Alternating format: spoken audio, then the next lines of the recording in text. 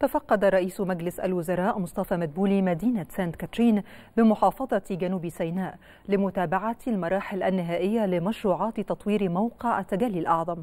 وأكد مدبولي أن زيارته تأتي في إطار المتابعة الدورية للموقف التنفيذي لمكونات مشروع تطوير موقع التجلي الأعظم فوق أرض السلام الذي يتم تنفيذه بتكليف من الرئيس السيسي في إطار مخطط تطوير مدينة سانت كاترين. ووضعها بمكانتها اللائقة.